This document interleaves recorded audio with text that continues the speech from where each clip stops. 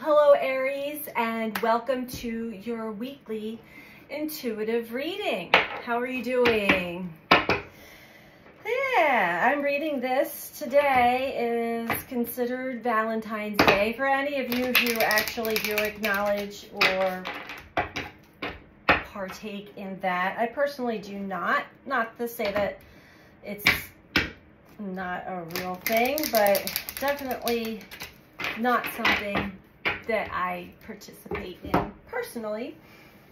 However, um, we've got a lot of interesting energy that is connected to this. Uh, but whenever you find yourself at this reading, it does not have to be the week of Valentine's Day. If the message is resonating for you, the message is most likely for you.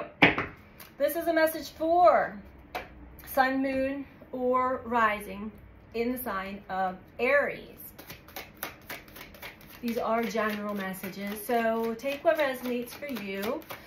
Check with your moon or rising sign if they're not resonating for you, or keep them in your back pocket because a lot of these readings are pulling on the hidden blind spots that we all possess in the subconscious. Right now, the energy is really assisting us uh, in bringing the unconscious to consciousness. Our childhood wounds, we've got Mars in a square with Chiron, revealing hidden uh, core wounds of ours that have affected um, the way we initiate certain things. Also the way we confront others. We have loneliness. First card out for you, Aries. I know that I am never alone. We also have Venus, I gotta look at my notes, conjunct Neptune today, which is more of a dreamy type energy but it is balanced out by the sun in a conjunction to Saturn, bringing us a reality check, a true reality check. What else do we got here? Um, we're also starting to take accountability and accept responsibility for ourselves and our lives and our actions. Oh yes, and we have Mercury conjunct Pluto. That is separating now, but that has been playing out for the last week or so, releasing old outdated patterns as well as you know, maybe doing some deeper psychological analysis on yourself. All right, let's keep going. What else do we have for Aries this week?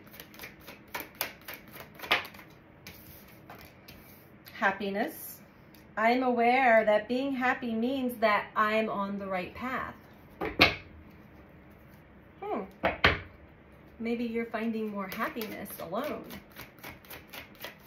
I'm not really reading it that way, but this loneliness card truly has come out in every zodiac reading last week and so far this week as well. Meaning it is um, like a worldwide epidemic, the loneliness. Even if we are surrounded by other people, we're not truly connecting deeply it's more surface level, superficial, and that feels lonely. Especially the more and more intense and in-depth this energy gets for us all. Know that you are never alone, Aries. Never, ever alone. There are times when we are required to sort of have some time alone to process, to go through the experiences that we're going through with a fine tooth comb deeply within ourselves. Because if we're, you know, around other, we're distracted by other people too much, we're never going to get there. So sometimes the the journey to enlightenment, to consciousness, expanding consciousness can feel lonely at times.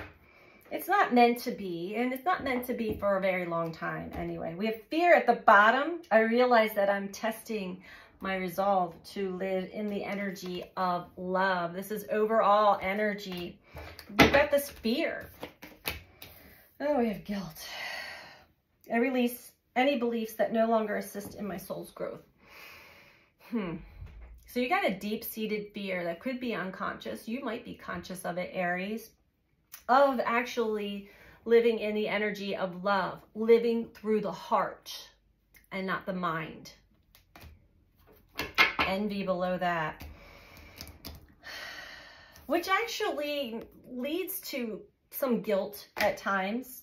It definitely affects our happiness and it most definitely makes us feel lonely, even if we do have others around us because we're not living true to our heart.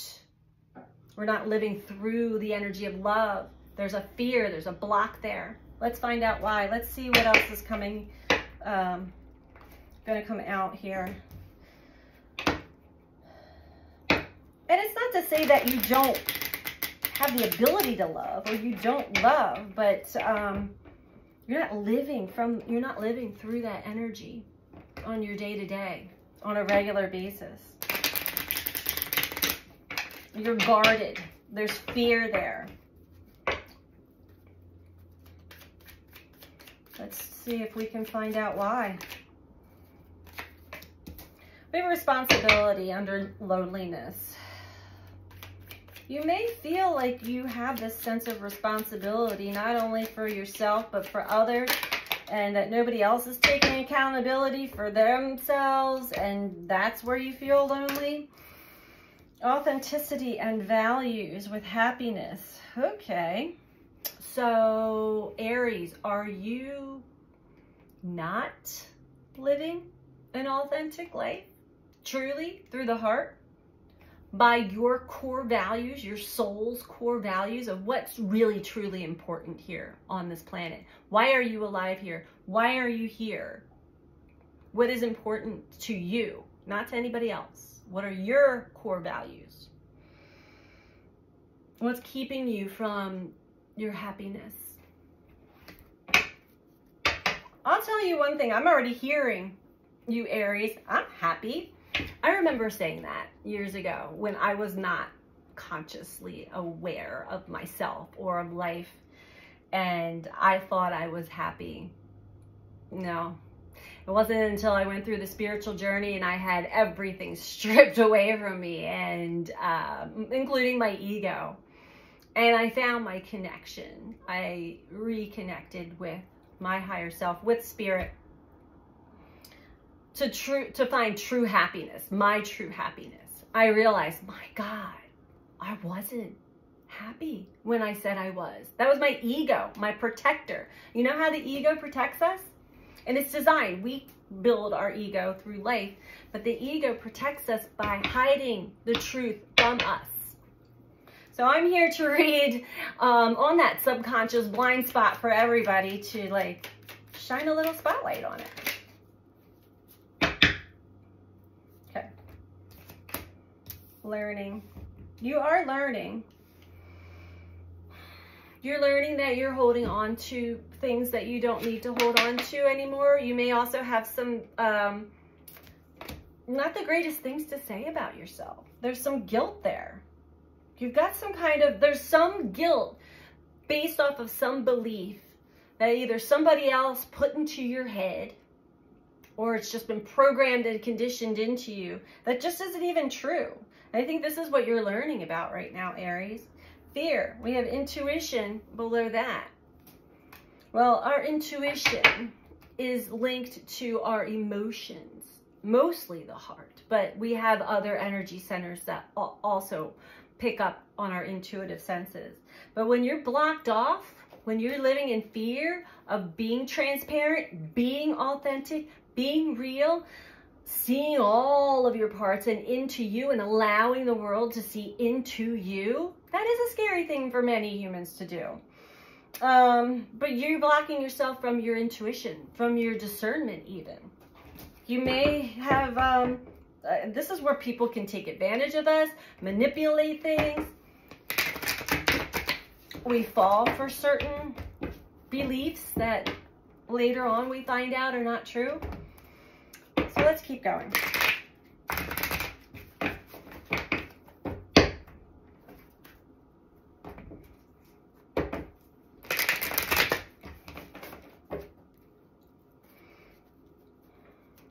Tell me about this loneliness for Aries, please. Okay. Memories of love. Hmm. Something's coming up for you. You actually do have stored in your cellular memory love, experiences of love. And that's coming back up for you. It is your responsibility and your responsibility solely to reconnect to your heart for your own happiness. But you're not responsible for other people's happiness or other people's companionship even or their loneliness. You're lonely and you might be lonely in a relationship because you feel responsible for them in, some way, shape, or form. This could be for some of you. For others of you, something about responsibility. Yeah, I'm just going to keep that spirit saying, nope, that's it. Take what resonates for you. That's a pattern of codependency. That's linked to childhood. Okay, so we have patience.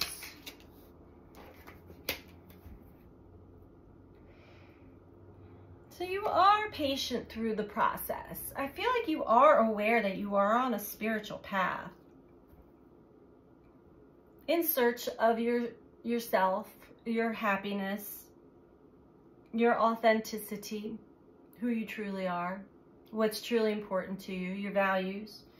Be patient through that. I feel like you want to race through it, Aries. That would be an Aries thing to do, right? Aries is like, let's go. Are we there yet? Are we there yet? be patient with yourself, Aries. You're getting there. You're getting there. That's beautiful. Awareness is the first step. It truly is. Self-awareness, self-understanding. guilt, flirting, firm foundation. Yeah. Sacral. Wow. You're learning that um, you've got to let go of some guilt, some baggage, so that you can learn more about yourself. You may have another person really pulling you in a direction, taking you out of your life path, of what Spirit is really trying to show you right now. But it's important to be solid within yourself, grounded, a, firm foundation within yourself. Know thyself. That is this card. Know thyself. Feel safe and confident in this world as you, authentically. Let go of the guilt. Somebody else places that on you and you carry it with you. You may have been carrying it with you your whole life. Who knows? But the sacral chakra speaks of our vita our creativity. Well, what I'm getting from this part, because the sacral chakra also is our libido. Um, it is also linked to how we connect to others and are they intimate? Are they genuine, authentic? Are you able to let your guard down and be vulnerable enough to be transparent, to let others see into you? Then they will let you see into them, into me see. It does take confidence, a firm foundation, a healthy, balanced sacral chakra. Know yourself and if you truly want to have connections and not feel so lonely, even if you are connecting to another, it's important to let all the armor down and be authentic, be vulnerable, allow, be transparent. That is where true intimacy lies. That is true connection. It's not superficial. It's not surface level. It's not bullshit. It's real. All right. What else do we have for Aries? I feel like I just gave a lecture to you. These are channeled messages, by the way. You haven't figured that out yet. The energies channel through me in multiple ways.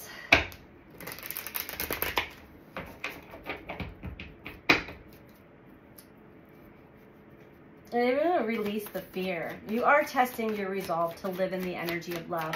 Your soul's desire is to live in the energy of love. And who doesn't want to live in the energy of love? There's a lot, I mean, across the globe, there's a lot of fear of that because that means being vulnerable. And, you know, if we're surviving, if we're in survival mode, being vulnerable is stupid, right? you fear that. The devil. Definitely, I'm getting there's somebody else either in your life now or in the past that is linked to some, is connected and mirroring some of your patterns and habits that have you chained and bound to something that is not true to you, not authentic to you. These are also toxic patterns and habits that we carry with us in life. It's keeping you in that loneliness aspect. This could be linked to responsibility, feeling responsible for something that you're not responsible for. You may be carrying this guilt around with you because you feel responsible for someone else's pain, death even, I'm hearing. That's for someone. Um, yeah, release that guilt. Ugh. Because this will just keep you chained to things that just it's that karmic wheel. It's time to jump off of it. It's time to open your heart up, Aries. Let go of that guilt. It is not your responsibility.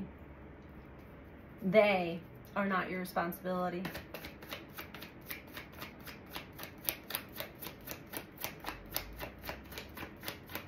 You are your responsibility.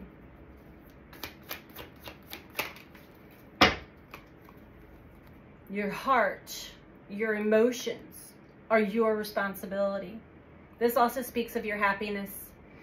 What, what is it, Aries, that just totally fills your cup up with love, overflowing? What is it that you love that just gets you like totally like breathless even? What is it that you value truly, authentically?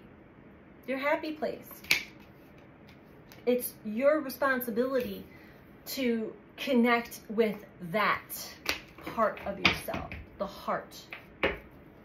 Love. Love of self first and foremost. So walk in this world in love through the heart. Okay. We have the Knight of Cups. So you are learning. I think you're learning about this guilt that you may not have realized that you've been carrying. Or some form of belief. If it's not guilt, the card is guilt that this falls under. But it's some form of belief that just does not belong with you. It is not true. It's linked to um, how you express yourself, how you express your emotions, your feelings, as well as maybe giving emotional support to others or receiving emotional support from others. I'm hearing that, receiving. And it's because you're not firmly rooted within yourself. Everything's fine. So overall, Aries, you go about life pretending like everything's fine while you've got 10 swords shoved into your back all this pain that you carry around with you. You're like, everything's fine, it's fine, it's fine. That's the ego, hiding the truth from you. The Fool below that speaks of, um, you know, that childlike wonder of life.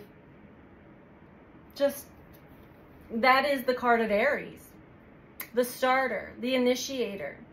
Just go for it. Go for your happiness. Stop fearing it. This talks of having trust and faith in the universe, in life itself. I'm gonna get one last, oh, no, we have one more layer for you, Aries, sorry. I forgot. This is something that ended painfully for you. But you're also, you know, still walking around with this pain body, these swords in you. They may, that subconscious pattern may come out from time to time and even catch you off guard. You're like, I don't know where this anger comes from. I don't know where this sadness comes from. It's because you've been carrying it around and acting like everything is fine for a long time. That's also what's causing the fear for you to um, open up your heart and live in the energy of love.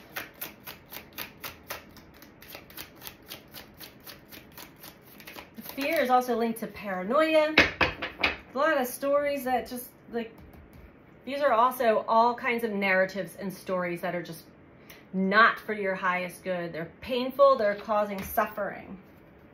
King of Wands with the devil. This speaks of somebody that's stubborn, wants to have things their own way, wants things to go their own way. And um, I see it linked with the devil card. Wants to be right.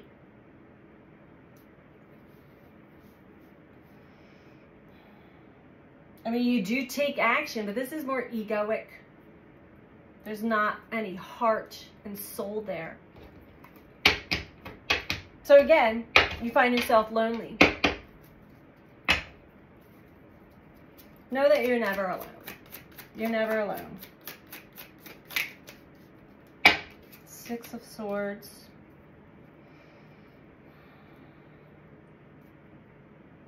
whatever's going on with your energy, and we do have a lot of energy bringing up subconscious stuff within us, childhood, core childhood wounds within us, it is elevating you to a degree of um, balance, confluence within yourself. I feel like you're split energy and there's times when you're in the heart and you're authentic. But if something or someone comes by and you don't trust it because you're not in your intuition, you shut it back down and up comes the armor and here's the ego. And then you're not in your heart. So this is why you have to have patience with that part of you in, on the journey. Love that part of you too, but be aware of it. Once it's brought to the light of consciousness, then it doesn't have... um it, it, it doesn't control you. If those feelings and sensations come up, you're aware. Okay, here comes some of my patterns again. Seven of Pentacles. Yeah, again, back with this guilt. Damn. Somebody really did a number on you. And this is something deep. This goes deep. But you've probably had other experiences from that point on. This is where the fear lies also. If I'm authentic, if I'm open, um, I, I feel like things are going to get taken from me. I'm going to be at a loss. People are going to take advantage of me. I'm going to get hurt.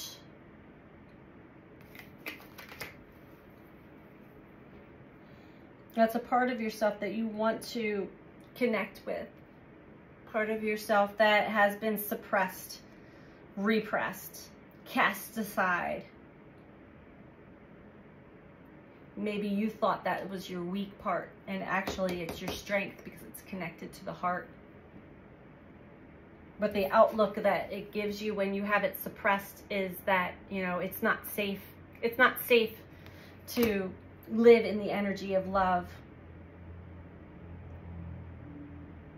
Six of Wands at the bottom here with death. So you are going through a transformation. The energies are working with you. So instead of fighting them or um, resisting whatever changes are going on within you right now, changes that you are fully, your soul is guiding. You're aware of them deep inside, but your ego is fighting them tooth and nail. Well, you are finding the bravery and the strength to overcome that. Overall, you are.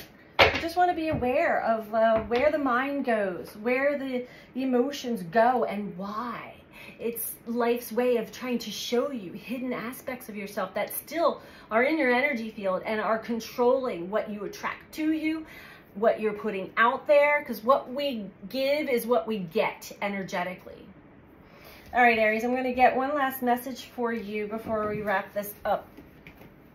And as I'm shuffling this card, if you don't mind, if you like this video, Aries, as a nice energetic exchange, could you please click that like button, the thumbs up button? We greatly appreciate it. It helps with the YouTube algorithms, getting the messages out to more people, as well as helping with the growth of this channel. And if you are not subscribed and you would like to subscribe, please do. That also truly helps with everything I just mentioned. And I am extremely grateful for all of you who have subscribed. Thank you very, very much.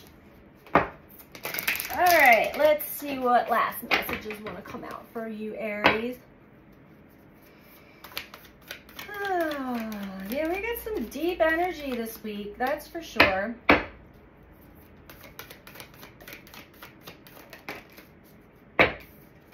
Hmm, we have hold your vision.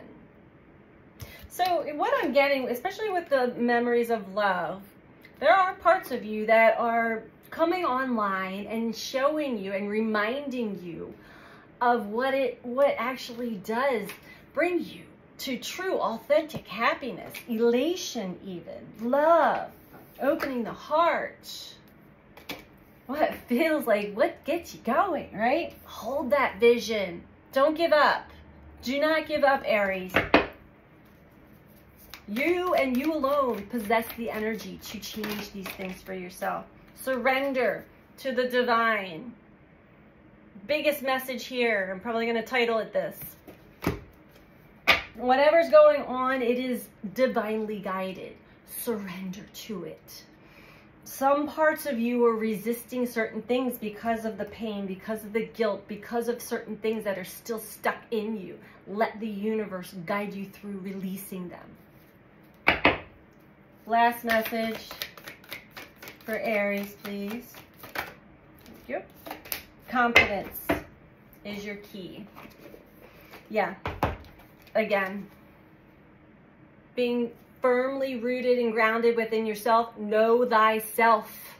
Be confident in who you are authentically. That is your key to success, to happiness, to a life full of happiness and love.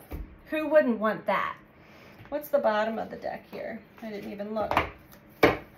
Show the world the real you. Can't make it up, Aries.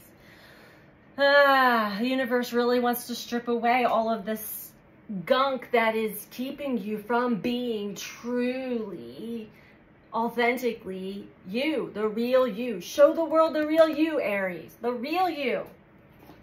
Not the you that your ego feels, okay, we can show this much and we're going to guard the rest. No, it's time to release that. That tell the ego to take a back seat. This is being driven by the divine. So that is your message for this week, Aries. I hope that this was helpful for you and I'm sending you out so much love. Take care. Bye.